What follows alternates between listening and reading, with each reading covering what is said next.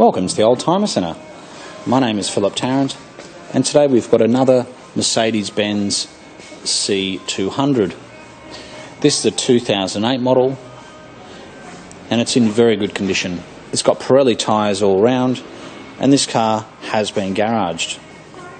It's got a Harman Kardon sound system, it's Bluetooth ready, and it's done 91,000 kilometres from new. This car's got a very good history to it. It's easy to tell if these C-Class models have been garaged